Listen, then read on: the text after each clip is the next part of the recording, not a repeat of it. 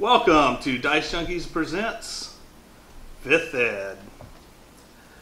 This is uh, Dungeons and Dragons Fifth Edition. We're going to talk about this for a bit. I'm here with Q. and Will. Will, and I'm Xenodamus uh, with Dice Junkies. So let's uh, start off with. I'm going to start with Will here. He's actually currently running a campaign. Okay. Um, so what are what are your thoughts on uh, Fifth Edition? Just right off. All right, so this is obviously fifth. I guess it's technically sixth iter- iteration of Dungeons and Dragons tabletop game, pen and paper RPG. You assume the role of your character that you created. Uh, in fifth edition, there have been a lot of changes over previous editions. Uh, there's a sense that it's kind of more of a throwback. I say throwback; it's not a negative thing. It, it- they're they're move, shifting more towards the roots instead of being a big number crunchy game where you're rolling dice and killing monsters all the time. There's there's more opportunity in this built in intrinsically for that role play experience from what I've seen. Um, I've been introducing new characters to the game, or sorry, new players to the game. Uh, they've picked it up fairly easily. Uh, it's been a lot of fun. We've been playing for a year now, uh, almost to the day, and Yeah, I'm actually a part of that game, so it's been uh, really fun. Now, uh, Q over here, he, he actually ran a um, Ravenloft uh, version using Fifth Ed a while back, and uh, I, I thought it was really good. Uh, what, what, what was your take on the Fifth Ed rules? Um, once I got used to the new edition, what Fifth Ed is, I found that uh, it really was fun to run when you know what you're getting into. You know, it was a fun Ravenloft game. Um, it's very easy to make up your own rules for it. It plays smoothly to that type of DM. If you're the kind of DM that likes to do their own thing, these rules work well with that. Um, you know, I'm a little bit of the black hat on this. That uh, I'm a D&D veteran. I played all the uh, older editions of D&D.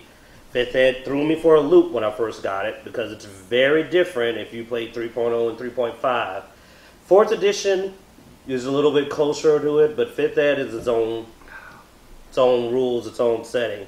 These two love it. Me, Whoa, I whoa, think whoa, it's got its whoa, whoa. You can't say we love it now. We do have some cons for it as well, or at least I do. I Uh, yeah. I love the experience of playing the game with my friends. Yes. And and uh, Ed Greenwood famously said, i i- "the the day the day we go to, uh, out of business is the day the DMs realize they don't need our rules." Yeah. Well, and I mean, honestly, though, I mean, Fifth Ed's done a good job of letting you not use their rules. I mean, it's a Yeah. very rule light system, which is one of the reasons I do like it. Um, is I is as he mentioned, I like being able to play flexible with the rules, add in some homebrew stuff, uh, and D and D has really given you that that leeway. They've created the DM's Guild, which uh, has a lot of homebrew stuff. Definitely worth checking out if uh, if you want a quick reference to something and you just don't have time to make it. Make it. Uh, they have a critical and failed chart on there that I, I've fallen in love with. I, I really want to implement it into a game. But at the same time, I think Fifth Ed has its place. You know, and I think we've discussed this before. Oh, yeah. Um, you know, Fifth Ed is a gritty, not a high tier fantasy. This is not Um, high fantasy. Yeah. Yeah, that's true. So I mean, there are games out there that fill that hole, and I think that's why Fifth Ed did a good move by moving to it. Is because I mean, you have things like Pathfinder that is very High fantasy. yeah high fantasy, and and it's been around. It's got a huge base, and if you're up against Pathfinder, well, why should I switch over to D and D from Pathfinder? Differentiating themselves is a very good business move. Yeah. Well, well, right. No, go ahead. When I when I review a book, I like to give an idea of the feel of it. The main thing about fifth edition is we're still based off of D20 basic rules. You roll your D20, you add the numbers, and you get your results. They changed the way some of the rolls are affected, which is where the flexibility comes in. You know, the advantage and disadvantage system, the proficiency. It's very easy to pick up. There is actually some room to master it a bit, but it's not, you know, anything that you're going to see somebody step into it and be able to go, I know the system five times better than someone else. and that's a problem. That's a good thing about it. It kind of play makes an even play field. Mm-hmm. Once players become at least proficient in it, you're going to have a fairly even table. That could be a pro or a con. I say it's mostly a pro, but there are some players out there that you know look for the more I know about the game, the more effort I put in, the more I get out. You're going to run into that brick wall. The numbers only run so high that you know there's only so much you're going to be able to pull off before you're just going to have to go. This is the most I can pull out of a build or out of a character, but it causes teamwork, which is something that um, is good. You cannot run this game and try to run around with one or two people doing their own thing. Oh yeah, that's definitely true. I mean, this guy here is all about making some powerful characters. I've uh, had a monster. I've had to DM for him on a, on a few occasions, and uh, he, he creates monsters. And in, in some of those games where you can manipulate the system and your the system has those capabilities of high fantasy, I've seen this man be a one man army. It's called Munchkin. so so yeah and, and this this doesn't allow for that so it, it is much more of a team game um, like you said it's it's really easy to learn it's it's quick to pick up great for new players and and older players but especially new players i think this is a great entry level uh, tabletop game to pick up on um, I mean, here we have uh, we have the three core books. Uh, he's got the Monsters Manual. I've got the Dungeon Master's Guide, and he's got the Player's Handbook. Uh, these are your three core books that pretty much, if you want to start running, you need these three books. Um, you can go for well- a little while off of these two. Yeah, just those two. They did. you have a they monster did do, section. they in the back, yeah, yeah. they do, they do. You're right. and they, they did a s- uh, they did a starter kit starter kit that Oh, lets you run through the first few levels. Uh, Mm-hmm. There's also some supplemental information online from Wizards of the Coast that, that includes some of the basic monsters, creatures, and rules. True, you do have the open game license as Yeah. well now, which actually does include a lot of the material from both the Player's Handbook, Dungeon Master Guide, and so you almost play just from Yeah. the Open GL, but you do lose some of the um, TSR exclusive. Well, like Content, your, your yeah. your feats aren't included in the Open GL. A lot of your creatures that are Yeah, that are there's several of those iconic creatures. included. Um. Another thing to comment on about is a well put together book. I will say that uh, I like the artwork. Yeah, I like the description of the races. They don't get long winded. They're actually really good about describing the classes and races in a pretty good summary while getting a lot of style in there. It has rules to help you come up with personalities, flaws, goals to flesh out the characters. Like I said, great starter kit. This is a good.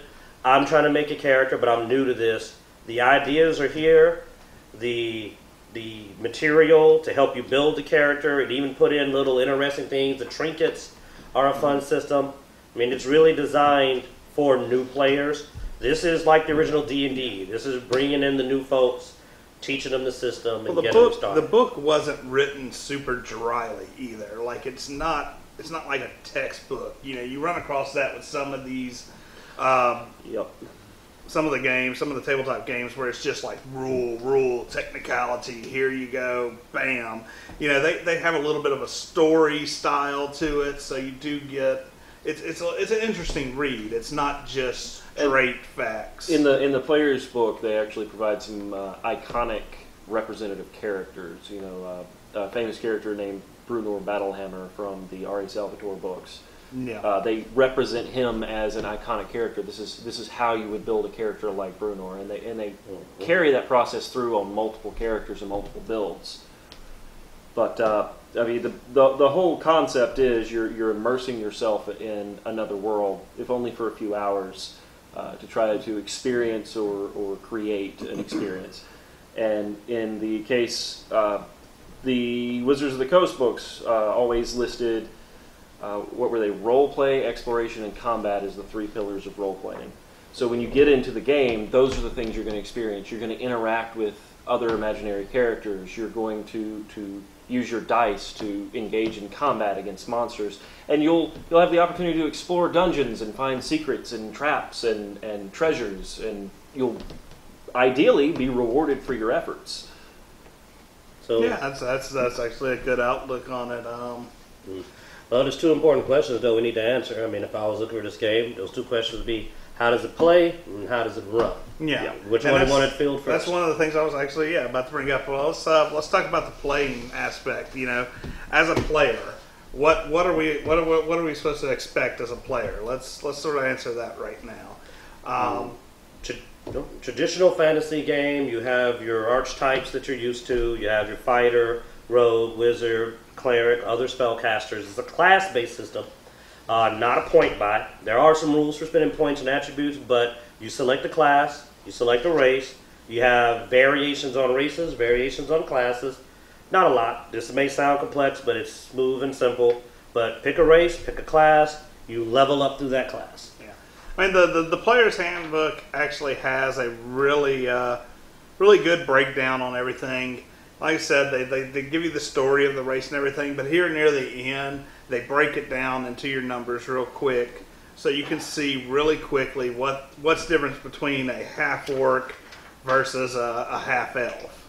Um, so as, as for the players, I mean, you, you look through this, you can you can go through here, look at these descriptions, look at the stats and the benefits of uh, each race relatively quickly to pick out that race. Or grab a concept of something you want to play and jump in. Don't worry about the numbers. That's an option Yeah, no, too. that's my favorite way. Yeah. I love I love just creating a character in my head and then going, yeah, you know, this is the character. Now, how do I make that character? No, we're not.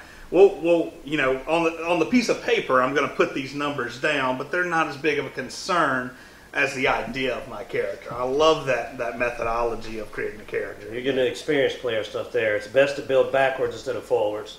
When you build forwards, you end up building for power or something else. When you build backwards, you tend to end up with a character that has a story. Yeah. Because you came up with a concept, then you said, how do I bring this to Well, life? and I mean, part of that too is uh, reading your DM and, and seeing what what he's going to focus on. Because some some DMs focus on story, while others focus more on battle and tactics and stuff. or exploration, and that that is key when you're playing a pen and paper game like this. You need communication because the DM is not necessarily your enemy, and, and typically they're not supposed to be your enemy. They're supposed to help guide you into that uh, recreational experience of playing the game. And, and as a player, I would definitely suggest you know talk to your DM. Don't you know if, if your DM just tells you to create a character and gives you no other information, I, I would be concerned.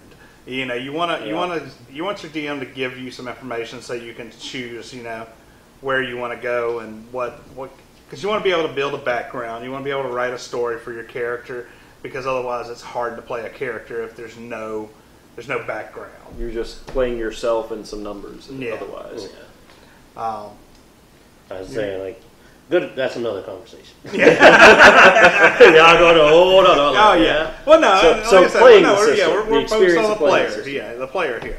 And I mean, uh, the thing is, teamwork's key to the game. I mean, you Definitely. both played and ran it. Yes. Uh, as a player coming into this game, you're going to want to probably know what the other people are doing, fill out your roles well. Isn't life or death technically, but it does help. You'll get a lot more satisfaction if you work as a team and everybody knows what they're going to do. Because the game itself, barring what your DM chooses to do, leans toward teamwork. So Well, no, and, and it being that lower, grittier fantasy, I think it actually relies on having a more rounded party more so than some of the other systems. You know, you can get away without having a healer or, or, or a caster in some systems. Where in D and D fifth ed, I think you really want to have that little bit of, of each. You know, you want somebody who's a divine caster. You want your your wizard. You know, it'd be nice to have a rogue. yeah. You know, You you can you can balance out and make some clever plays to get around it. Uh, there are certain class abilities that let, let you heal yourself, but compared to what a divine caster can do in terms of There's vital roles, and yeah, then there- there's roles there's just that can about be vital subbed. roles. yeah. I mean, you you can have a warlock that can sort of fill the rogue role and uh, the caster role. We had Uh, that. Uh, he took yeah. lock picking, and he had the diverse skills that allowed him to kind of fill in. Yeah, so so you have some of that that can fill in gaps, but you still you still need a, a, a very wide varying group. So what about combat? Ooh, combat. Uh, this uh, there's there's oftentimes with these games you have uh, debate and, con- and confusion as to how certain rules are meant to be played out. Uh, there are resources online for fifth edition, something called the Sage Advice column. Covers a lot of those strange little erratas and, and what appear to be errors that are not necessarily errors. It could just be confirmation that yes, this is how this was intended to work. A lot of those are more advanced, so if you're first starting out, you may just want to get a basic grip of combat. It involves uh, you can take an you have initiative to determine who goes first. You roll through that initiative in order.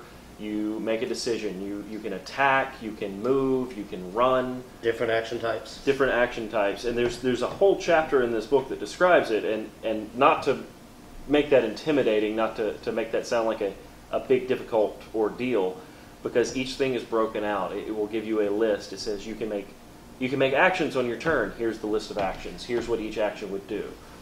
Yeah, I mean, they- options like that. They, they simplified combat a pretty good bit with fifth ed. Mm-hmm. With most everything is decided on a d20 roll, and you can have advantage or disadvantage. Now, advantage being you roll two d20s, and you get to have the highest roll, and disadvantage being the opposite. You roll two d20s, and you have to take the lowest roll. That one's fun. Um, so anyway, with with that combat style, that negates a lot of the plus this minus that that you had in some of the older systems where more math was involved. It, it simplified that. Um, the only place I think they really uh, didn't wasn't able to simplify that was with the cover rules. Those are still plus and pluses. Uh, They, they did a good job of keeping that to a minimum, But, and it's it's one of those things where does it make sense for this to be a major detriment or a major positive? And that's where that partial cover rule comes in. For instance, right now I'm partially covered, so in the system you'd have a minus two to attack me. But if I duck down and you can only see the, the eyes, it's a minus five. Well, and this is where I got to play good and bad guy because oh uh, yeah, go ahead. with combat, the simplification is great if you don't want combat to be the primary focus of your campaign. Yep. And it's really good for new players because combat's where you actually tend to run into players getting Confused down. and. I just a little while ago somebody was talking about combat and a system I like, and they were like that combat, and I'm like I know. but uh, on the flip side, though, for some of the older DMs like me who've been doing this a long time, you may be a little bit thrown off when somebody goes, "I want to do this in combat," and you're like, "That's advantage." It's like the same as this, yeah. Like I, we've had somebody in a situation where they were flanking somebody that was down and didn't know they were there, and that was no different. Like each of those three was exact same thing, advantage. So it just it almost had no extra effect. So I could see where sometimes players could be like, "Man, I thought that'd be a little bit more." Yeah. Yeah. You know, because once you get advantage, you don't really care about anything else. Yeah, that's true. I mean, Yeah. You're not nearly as concerned. You can try to leverage additional bonuses, but generally, uh, No, that's where you start house ruling. yeah, that's where you've got a house rule because Yeah. the way the system's set up, you can't get more than one advantage. Once you have advantage, Well, you can't get it. more than one advantage if uh, if there's a disadvantage and an advantage. They just cancel it out. cancels out. regardless of how many. If there's multiple advantages and only one disadvantage, it still just cancels out. Yeah. Um, same thing with disadvantage. If there's multiple disadvantages, it it only equals one disadvantage. and it can be exploited if you Um, remember our barbarian. Oh, it can be. I mean, but uh, this it's not that big of a problem. The exploiting True. of it uh, because it can't. Once again, yeah, you can exploit it that way, but you don't get all these advantages going the other way. So it it to me it weighs itself out. It, it's balanced. Well said. That's why I'm, so I'm playing the bad guy. I gotta I gotta throw that in there just for anybody, so they'll go. No, no. Combat is at times almost oversimplified if you're used to, The the very nuanced, especially number yeah. systems, where number systems can, when they do modifiers, can stack nine different factors because they just keep adding and subtracting. Yes. But when you have a all or nothing, then unfortunately that means it's all or nothing all the time. Yeah. Now, Thus- that's not to say that you cannot leverage other advantages. It's just they're very specific how you do it. For instance, and this is where teamwork comes into play so significantly. A cleric can give you, an, or a bard even, can give you a plus. Uh, it can allow you to roll a die, an extra uh, four-sided die, to add to your bonus. That's where you can get some of these others, and that's why criti- why why it's so critical to have the teamwork because your allies are what's going to give you your advantage. Well, yeah, different so. types of bonuses. The only Yeah. way to get some high numbers is actually usually to start stacking. Mm. Well, this person gives me a dice, this person gives me a proficiency, Yep. and this person gives me advantage. So well, that's get getting those- an advanced play, like you know, where you start Yeah. stacking everything in your favor. Sure. Well, and another aspect of combat is your, um, oh shoot, I can't think of the term now, uh, where you take the extra die the DM gives you. Inspiration. Inspiration, there you go. Inspiration. That's Goodness, I don't know why That's it not slipped just my combat. mind. That's a whole rule. Yeah. Yeah, Yeah. that that is. But I a mean, that's whole- something that, yeah. that can be implemented in combat as well to give you that, that Role play edge. You know, you get it for Um, role playing. It allows you to roll an extra die. It's pretty cool. And we'll talk more on the inspiration in just a bit as we go back um, Oh, hit point system, over by the, the way. traits and the Is the- bonds and stuff. But- It is still a Yeah, you point don't roll defense. You roll attack against flat numbers. Uh, saving throws are rolled where you roll against the DC of the effect, and Difficult it's a hit point. Dif- uh, So combat is attack rolls or defense rolls when it's against spells that don't require attack rolls, and hit point damage is how they track how you you know how long you stay in a battle. Uh, they did come up with a great way to keep you from dying too easy. I like that. The Yes. system is built to where Ooh. it's not easy to get instant killed. Yeah. And your party, this is why teamwork's so important. Don't get me wrong, it's like Gears of War almost. If you're by yourself and you go down, call it a day. But if you got a party, Well, oh, no. you can keep No, getting you, up. You, You, still know. have that. You still have the ability to get up when you're by yourself. It's just, it's a, it's a 50-50 chance, you know. Unless something hits you. Oh yeah, no. If something's know, Yeah, mauling it you or- discourages you, from being alone because if you're out there by yourself, you get dropped to zero hit points. You start rolling what's called a death save, and it's a d20. You roll low, you take a negative counter. You roll high, you take a positive counter. You hit three, you either get up or you die for good. When you get hit, you automatically take a negative. But counter. we know even from history that running around the battlefield stabbing all the bodies to make sure they're dead is a tradition that's been around for a long time. so again, being by yourself, stay down. now, now the death the death system though is cool because it gives you some of that that epic moments Yes. though because Heightened you drama. still have the uh, you, you also still have the D twenty uh, you know critical fail and critical succeed you know roll a one roll a twenty you roll a one you get two Yep. uh, death marks so you can you 3 out three you're dead round. so and and they're actually a little more generous with the natural twenty roll. You Yeah, now just the get back natural 20 is that epic moment when it's like man down, and then all of a sudden he's like, no, I'm not. You know? So you you come back with It's one happened hit once. point. Actually, we've had both happen. We've had the critical Yeah, we've had both happen. and a guy died uh, instantly, pretty much. Yeah. And then we've had the uh, Oh, the, the guy critical, jump back up. the critical fail was horrible though. That guy was also he was still being eaten, and he critical. There's Well, no yeah. coming back. As we that. stated, animals Yeah. tend to eat people, so they don't stop Yeah. when you go down. well, these were vultures. yeah, so they were just Yeah. like, oh, chomp chomp. Um, but yeah, no, we had a, a, buddy, man. We he, he pretty much sacrificed his life. He was there. The battle was intense. Everybody was just gonna get wiped in the situation they had gotten into. So he stands in the doorway and he's like, "Everybody, just run! I've got this." And stands there, just ugh.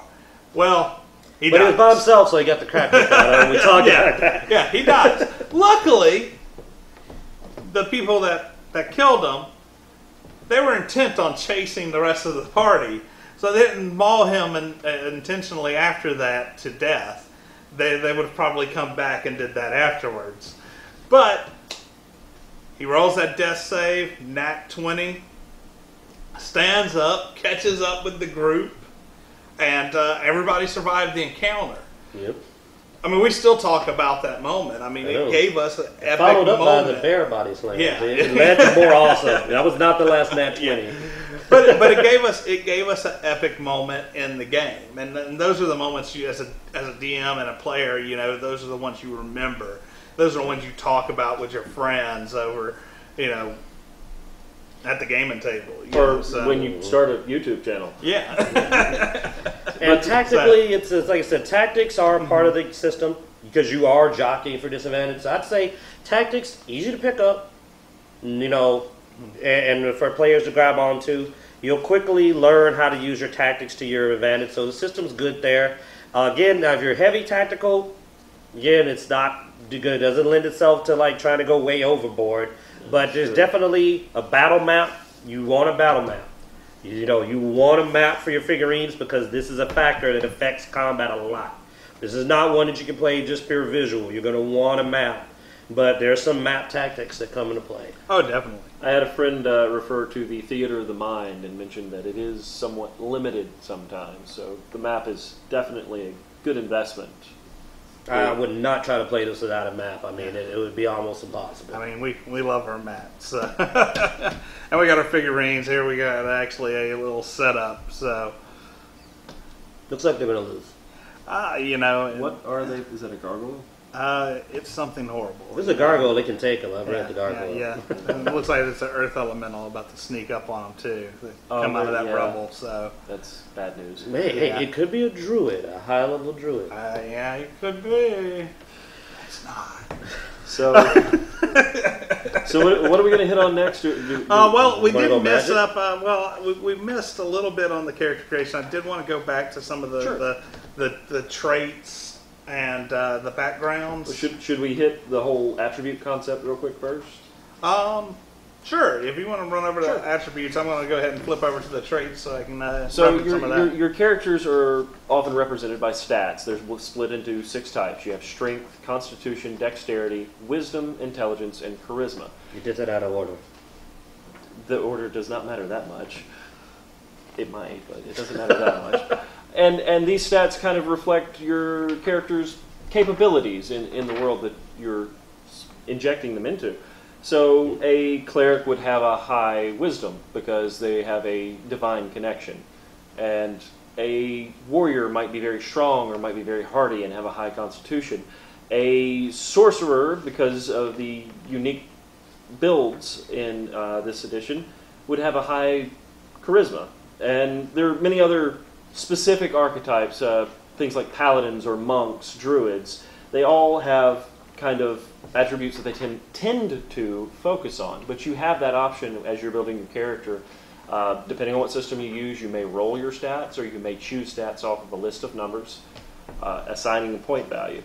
And it's, it's a way to customize your character, give them unique flair. Your, for instance, your ranger may generally have a high strength and or dexterity, but you may choose to make them very charismatic. They may have a background of nobility. And a noble would tend to know how to deal with people a little better than the normal fringe element that you might expect from a ranger. So that's where we get into these backgrounds where Yeah. as you're customizing your character, your attributes may reflect your background and vice versa. Yeah, so I mean, we, we mentioned, you know, we mentioned wanting to have a background for a character, and Fifth Ed has made that a little bit easier for you by actually having some set backgrounds that you can build off of. So you don't have to start just from scratch. I mean, you have uh, the Acolyte backgrounds, Criminal, Char- Charlatan, um, various others. Now, these are obviously here if you want to use them. Now, me as a DM, I, I would I would allow my players to go outside of this. Uh, you you Oh, you've yeah. let some modification in yours, but starting out, this is a great uh, utility and a great option to start It is with. also a part of gameplay mechanics. It affects your starting proficiencies and some of your starting equipment, yes. which can actually be fun. That's how we had someone fill in a role. Well, yeah, and that's why I we say had if a warlock that was a criminal. if you go outside of this, this would be something you would have to discuss with your DM because you are going to have to deal with your skill proficiencies and stuff like that. Um, There, there yeah. are notes in there that suggest ways of breaking the system if you want to modify it. Mm-hmm. Um, one of the easiest that I did was I told my players, look at these backgrounds. If something doesn't quite fit, take two of them and take half of the features from each. yeah. And that, that really worked out well for me. Oh, it did. It did. It was actually a really good way to go with it. Um, each one of these backgrounds is split down after after your basic skill proficiencies tools to help flesh out that background some more. You have personality traits, ideals, bonds, flaws. Uh, I think you pick two personality traits, and then Yeah, it's uh, one one, ideal, one bond, one flaw. Um, and you can use this to actually build that background. So you actually have sort of a backbone to build your background on instead of just going from scratch. If you want to go that way, uh, it's it's once again it's a really simple way to throw characters together relatively quickly with not using quite as much time as a lot of your other systems. I mean that's one of the things, like I said, I, I stress with Fifth Ed being something great for new players because of that simplicity and that, that build up that they give you on different things. Um, and then for, for your more complex players, you, you can because it's, it. because it's rule light, you can wing a lot of this stuff and actually get more advanced with it over time.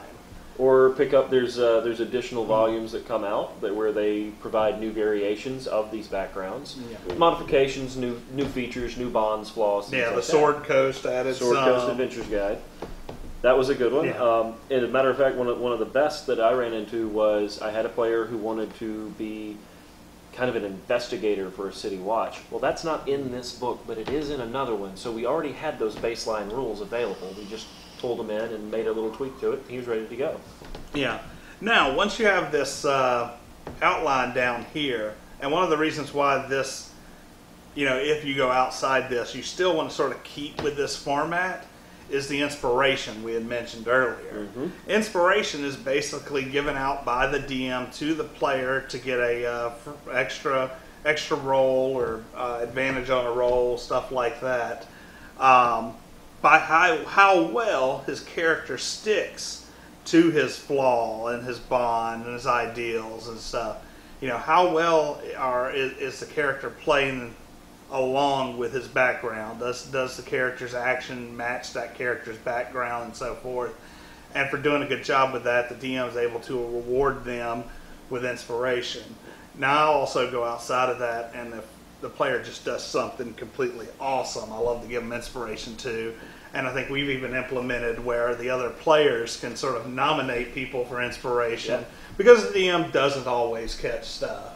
When there's a particularly awesome moment, a uh, house rule we had was people would nominate, going, "That was too awesome. That deserves an inspiration." Yeah. This also served for us. It mainly was implemented because you could tell we're all outstanding personalities, but we were trying to get the quiet players involved, and And a great way to get a quiet player involved, or even just sometimes we just use it to make them play good. They're bad tactics. They do good tactics. You reward them. like, oh look, you cured me when I was bleeding to death. Inspiration. yeah, maybe you should do that Yeah, more, often. Yeah. you're, you're checking the door for traps, Rogue? Inspiration. Now there, there is a caveat. The way this is set up, you can only have one inspiration die at a time. So you Yeah. So you need to use it, players. use your inspiration. Thank you.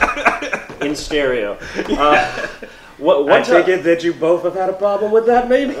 His group, man, this new group we've been playing with. No, I mean I don't mind. They don't use their inspiration enough. Look, guys, if you're listening, if you're watching this, use your inspiration more.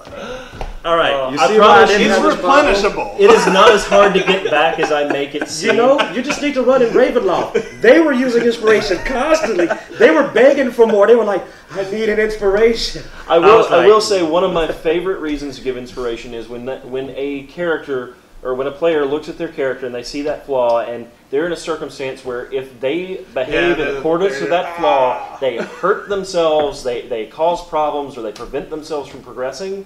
Yeah. I'll give them inspiration for it because they're committed to that role play. No, and that's that's that's the And they're gonna ideal need it after to that. it, really. They're gonna need it. Using your flaws of building strength to plan for the future is a good concept. like, I got a flaw. And then when you get good at it, you pick situations that just look bad. Yeah, That's yeah. the pro level. Oh no, I got screwed over so bad. Later on, saving throw. See what I mean? I'll post a munchkin guide later. yeah, yeah, yeah. There'll be a link.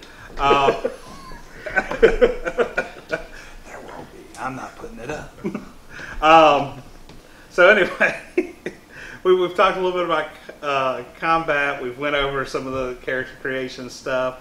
What do you think about the gear in this one? Like, it's also simplified. so is kind of generic. Yeah, one of the problems I have with Fifth Ed is actually the gear. This is this is one of my one of my low points for Fifth Ed.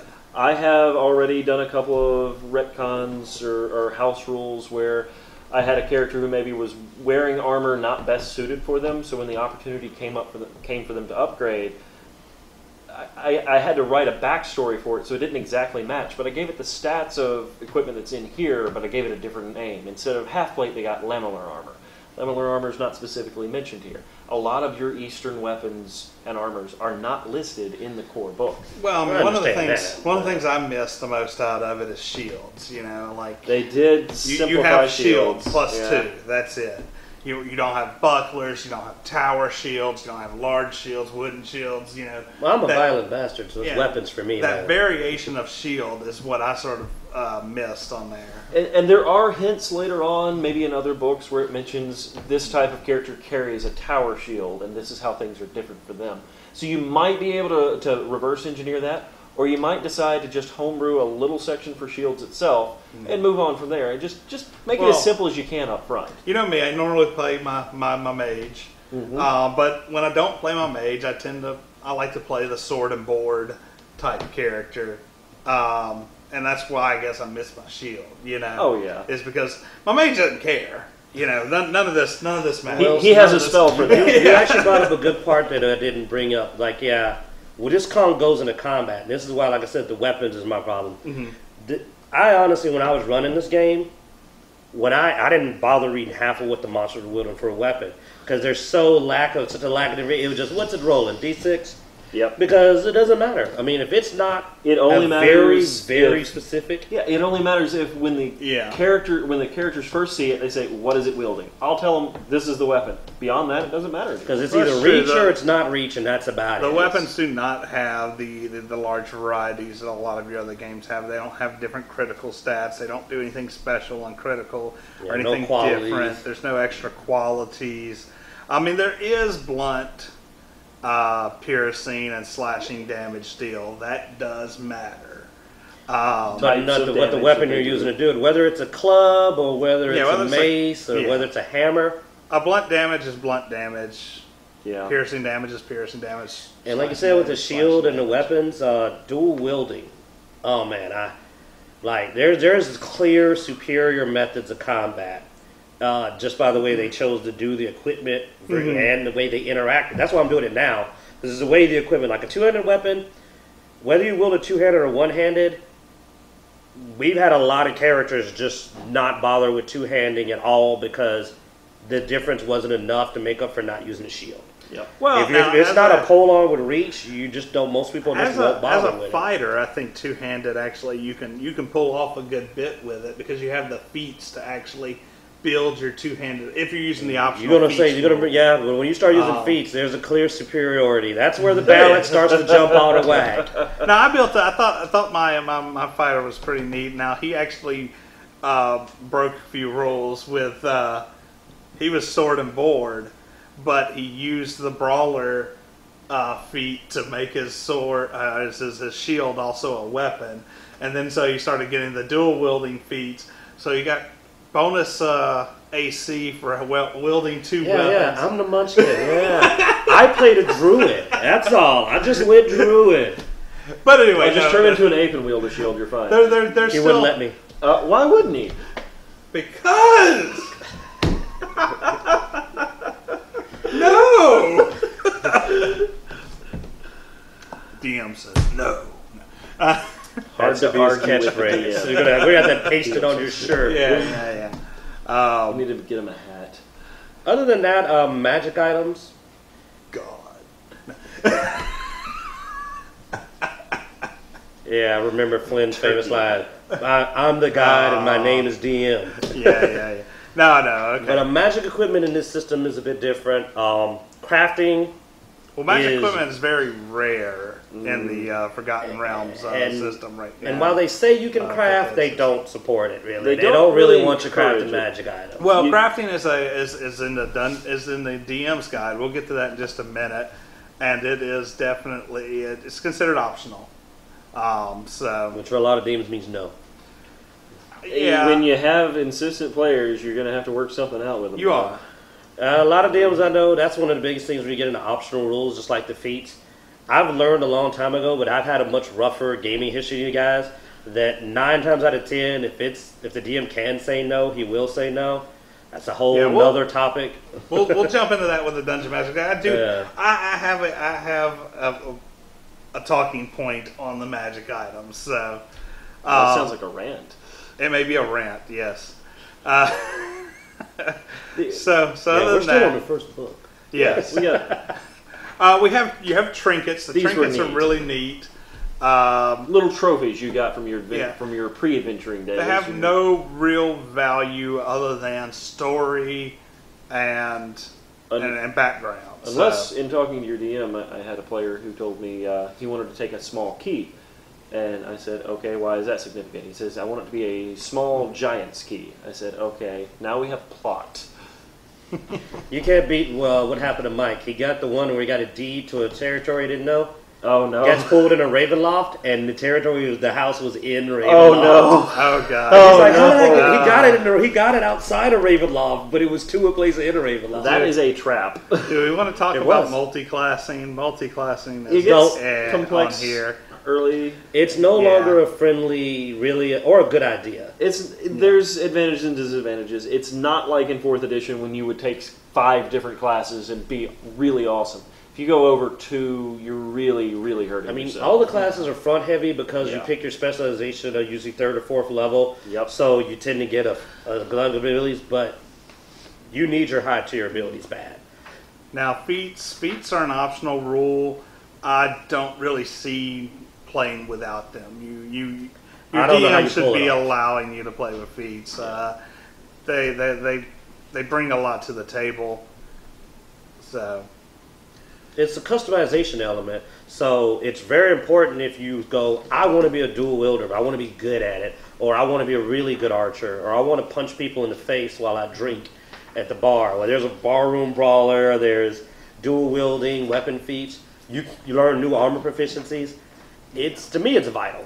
all right, and the last thing I think we're going to talk about on the player side is going to be spells. So what's uh, what's your oh, that's. We'll, we'll try to keep it brief here. okay. All right, then that, we'll keep it on two points. There's what you guys think of the spells, and then there's what I think. okay. They okay. completely changed everything I knew about spells in terms of spell slots and how many you can cast in a day, and all those old rules from the older edition. Back in second edition, you could only cast so many a day. It, it's once Yeah. you memorize them, you can cast. Let's put it Yeah, Let's put it this way: as a as as somebody new, when you're looking at the spell system, just don't think about the previous editions. that. Just do what's cool. Um, just go with just do what's cool.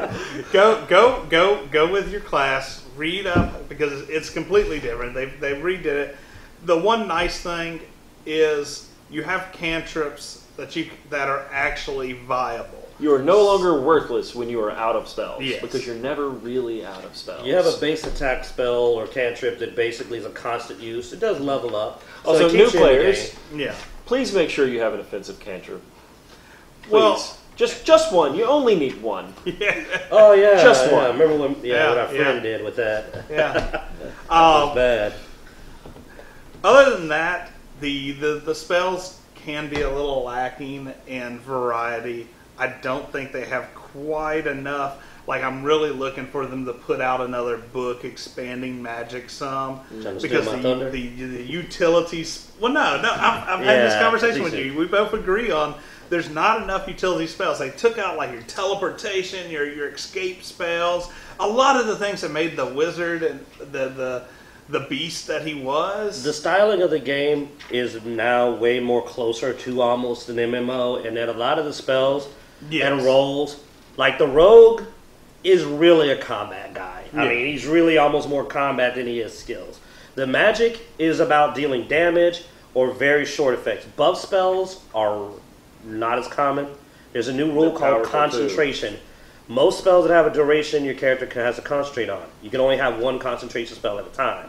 Well, almost every utility spell or buff spell is concentration. So you can only do one. So you're not going to see anybody flying while invisible. You're not going to see somebody buffing the party while they have a summoned monster. So you know you need to think of your wizard as casting attack spells. Because I tried to play a buff wizard and failed horribly. I, And concentration can be broken by getting hit. You have to make a concentration check every time you get hit. Uh, the it's a base of like ten. It's either if half get the damage you really- take yeah. or ten. The key is factor is, is that for some weird reason, a lot of your defense spells designed to help you take less damage are concentration. Well, the good news is, so a couple of the a couple of the key ones uh, ended up not being that way. I think shield was one, and it seems like it ought to be concentration, but it ends up. Well, no, because it only is a reaction. Yeah. Uh, there was another mage armor is not actually concentration.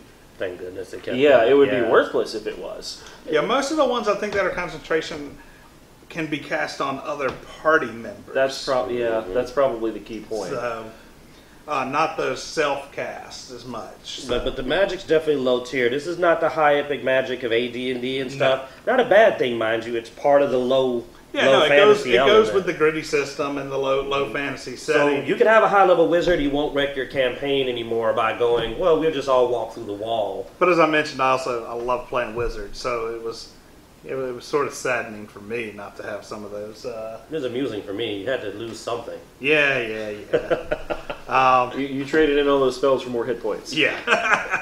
They are tankier. All right, and so now let's uh, now let's look at the Dungeon Master's Guide. Um, as a DM, I mean we we filled in a lot with the players. I think we'll go over this relatively quickly. Running the system. Um, yeah. I mean, running the system. You have your world, you have your story. Now they did a good job in the DM's guide about giving you ideas on how to build up your world and your system. With some tables, roll. Um, Half of this book is advice on how to build something quickly for Yeah. the players to engage with. Um, so with that, they, they they tell you how to build your own world as well as go along with one of their already built systems. Uh, they give you an idea of how the planes work um, in the current system. Outside of that, I mean, what what what do you think? Um, like, how vital is this this book here for the DM? You think? Depends on your experience, kind of. Because I mean, for Kinda. me, I just use it for the magic items and the traps. I mean, I've, I've Yeah. been playing so long though. Like I said, way back since the first setting, I know all the settings. Mm-hmm. But for a new DM, oh man, And and there are nuances to fifth edition that you can you can trap yourself in this idea of how things work, and then the players will say, "But the player's book says this," and when you review the player's book and you check, you can double check the DM's guide because it'll have some mention of what the players have encountered. Things like rules for drowning or uh, rules for crafting items. These things are here. They're guidelines. They're they're always guidelines, and you can house rule and break them as you see fit. But. I like to go back to the existing system because it is play tested and it is developed enough that I'm less likely to railroad my players or make things too easy for them if I if I stick with this a little a little more closely. Yeah, so this is a 320 page book. This first uh, 149 pages here, I don't care about. Um, How to DM. now you see what kind of DM he is. It's there. If you, it's there if you if your players want to go investi- go to an entirely new realm that you weren't expecting them to. Because believe me, they will find excuses to go off the grid. what? I can't jump in that portal to Shadowfell? Oh, bless your, your problem is You you guys fly. keep making grids. I'm telling y'all, screw the grid. yeah, yeah. Um, but then you have your magic items. Now, there's not a lot of magic items in here. It There's is sort of slim. Uh, you can make your own magic items, but you got to be very careful if you want to keep them within the low magic setting of fifth ed.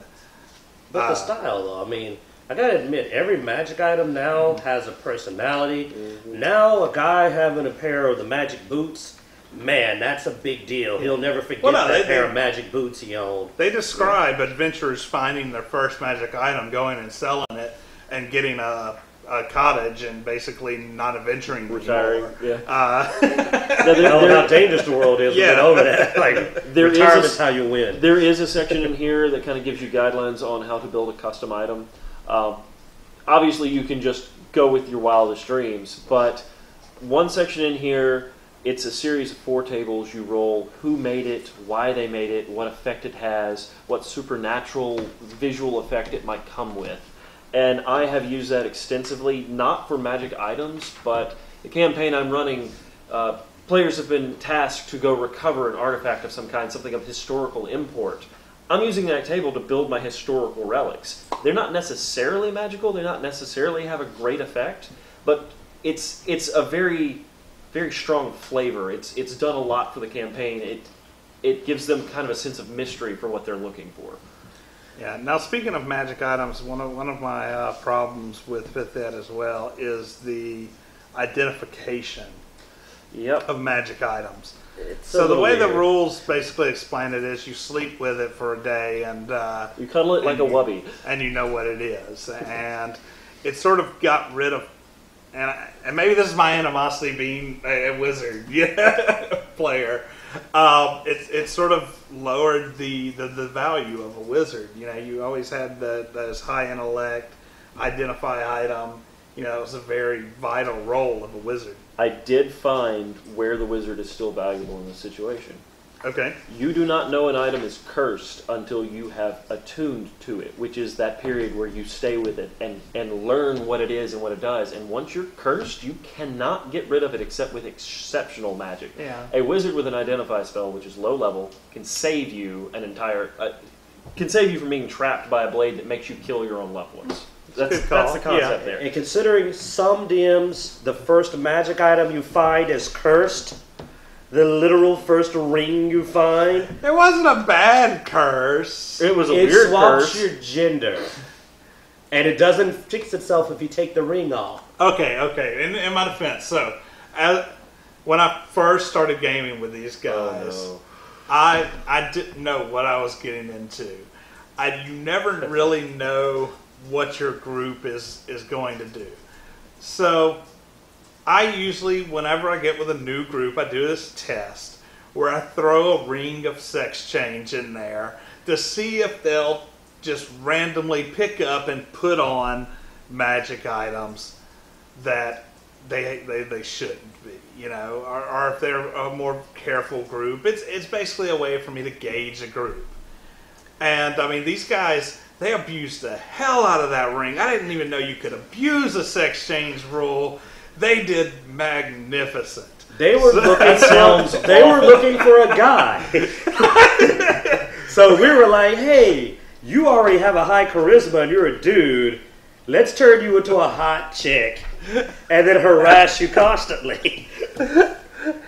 You didn't have to put up with it. You were the cleric. It, like you had the ability to go. You're no more healing. The, the cleric was a a giving man who could not refuse those who asked for aid. So you turned into a chick for them. Uh, it was not for them, actually. I know. Yeah, right? please. No, it He was was, not. being, he was being hunted. That sounds terrible. That whole story could have. You're gonna edit this, right? No. Yeah, that's what I was afraid of. No, but we didn't. We didn't pick up the ring, and and this is a thing. I like to caution players too. When when my campaign started, I told them. Be careful about touching magic items because you never know what they can do. Old stories, uh, the the drums of what's it back in second edition that would teleport you to the nine hells if you played them Hey, and that you would just find them in a field. Oh, neat drum. Boom, boom. Oh no. So hey, it depends on your character. I've had a few Yeah. characters that be like, start So- running across the nine hells until they get kicked out. So yeah, so yeah, we, we encouraged them to be a little cautious, and, and in that campaign we were cautious. We found the ring. Uh, we figured out what it did first, and then found a reason to use it before we used it.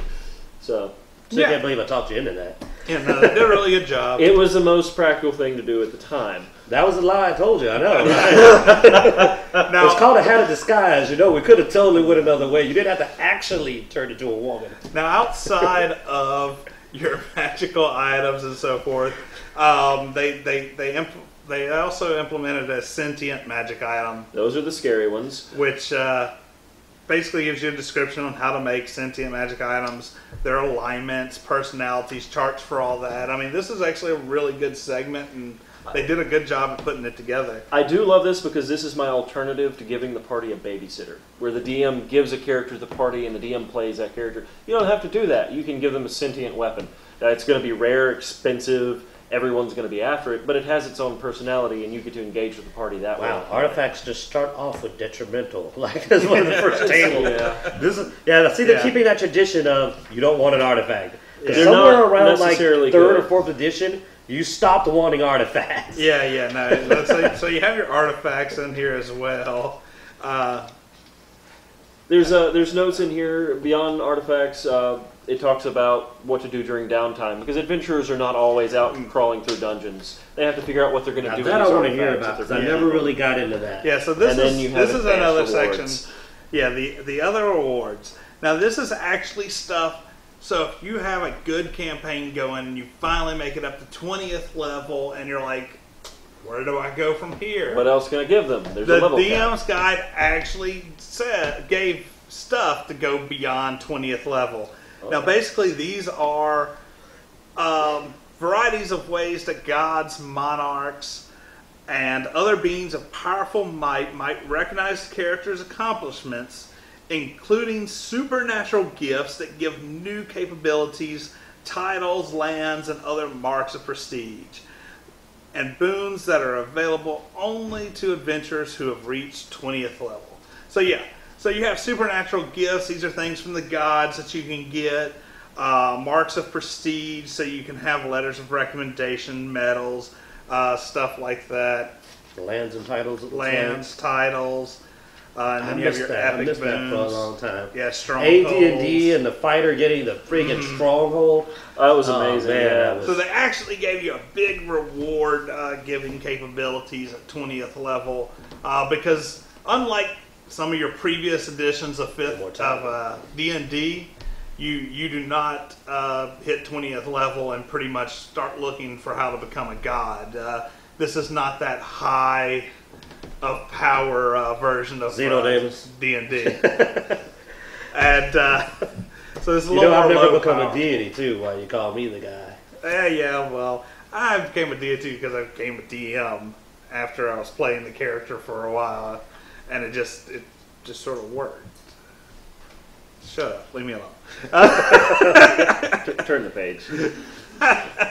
Um, So these are these Goes into details on the rules. More yeah, details more on details on the rules and just sort of uh, a little bit of a DM side of and it. recommendations on how to how handle to run, grid map. yeah, how to run monsters and battles and group ma- uh, battle maps and stuff like that. Um, Tools. These these are tools these are to run. this the is another another portion of the book that to me doesn't really matter I I already know all this stuff But Ah. if you don't, you want to leave them a look through. Yeah, no, Matter of fact, definitely. uh, there there are optional rules in combat, things like flanking when you have two two allies on either side of an enemy. This section will, will describe how to handle that. I've Uh, never seen this section so. This section also nice, does a, nice combat This- breakdown too. the combat br- uh, breakdown for the battle map is With really pictures. good and the cover breakdown. This is one of the most critical if you're going to have co- cover in your campaign. yeah Yeah, yeah it gives you a good idea on cover what what's full cover what's partial cover That and so requires hiding behind things. Um, it, it tells you, you know, what to expect when using man- miniatures and a battle map and stuff. You know, where where where you can go with that. There's there's no mention Just some cool, cool basic knowledge for a DM that is is trying to do this for his first, second, third timer that's never used a battle map before.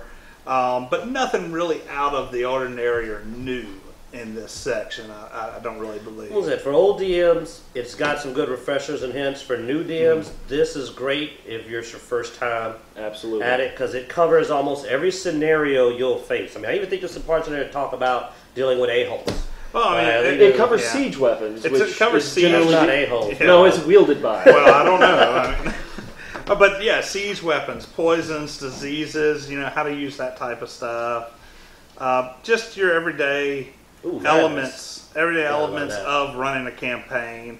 It goes over the the See, things. look at there, even absent characters. I mean, I do like the fact that for new players, it goes into like somebody's missing. You know, Yeah. what do I do? How some ways I can handle that. So this gives you a good idea on how to how to run that campaign, keep it going, and just really enjoy. And I mean that's all D and D is to me. I mean it's all we're just all having trying to have fun. We're trying to enjoy. I think Fifth Ed is definitely a valued addition to the tabletop uh, community. And we'll end this with what's your final notes, man? Uh, don't get discouraged if it seems like a lot uh, when building a campaign, especially as a new DM. You're going to see these these books. They look like tomes, and you're going to want to flip through it. And and the very first time I ever played, I wanted to read straight through. Don't do it. You're going to learn faster trying. You will learn faster trying. So get in, start playing, then start. It, it, it'll kill a little time early if you're trying to flip through the book while you're playing to look up rules. So you want to familiar yourself, or familiarize yourself ahead of time, and then again after, give yourself a refresher. But you just want to cover the bases, and as you play through, your campaign will naturally become more complex. That's when you start looking up these more complex rules. Thank Q? I think that this is an excellent gateway game. I mean, I know sometimes I give y'all guys a hard time to talk about it, but that's because we're all old gamers. and to me, this isn't the old gamers game. This is the new gamers game. This is great for introducing your new group and for quick play. You know, this is a game for when you want to sit down and run some because you got kids, you got a job, you don't have time to sweat it. You can grab a D20 and D10, start rolling, and get a game going. In the time we've talked about it, we could have run a game. There you go. Could have made characters and kept going. So great starter game, great long term game for players who are, want to play a game that's not going to get real heavy, but it's going to stay fun. And it's going to it is fun. It will stay fun. Uh, so you know, especially younger crowd, good one for the younger crowd to bring them in. Especially since some of the way it's set up. But I said it, the word MMO. It's not a bad thing. A lot of the younger people know MMOs. That style is gonna going to kind of break them out of that into tabletop a little easier than like Pathfinder or Anima or World of Darkness. Those are like dive head 1st This one paces you. Awesome. Well, thanks for watching. Uh, like I said, this is Dice Junkies um, representing D&D 5th Ed. Hope you enjoyed. Uh, thank you, Q, for being here. And uh, we'll see more of him. And Will, thanks for coming to the show. Pleasure. And uh, hopefully we can get you on again in the Oh, future. sure, yeah. All right. Thanks, guys, and uh, have fun.